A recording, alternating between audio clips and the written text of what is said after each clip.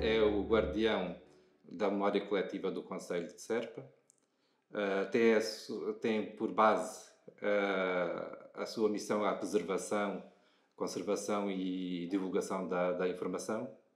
Uh, os nossos leitores são essencialmente investigadores que fazem o estudo da história local.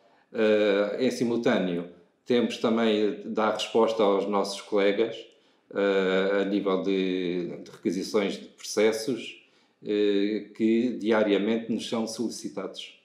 Quanto a mim, os documentos mais importantes de, que nós temos são as atas das variações, porque nas atas eh, existe o registro, o registro sumário das reuniões de variações, onde se discutia e deliberava uh, todos os assuntos com interesse municipal.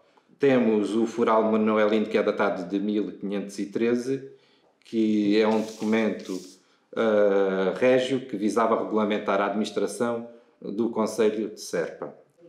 Uh, temos também o, o livro do tombo do, do, do, Conselho, datado de 1625. Nele eram registados todos os bens pertencentes uh, à Câmara.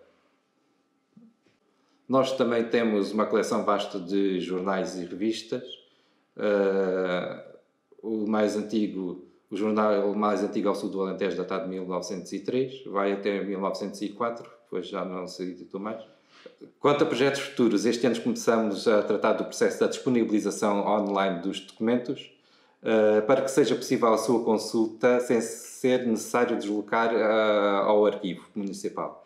Uh, neste momento temos na nossa base de dados 27 mil registros de documentos com 180 mil imagens associadas.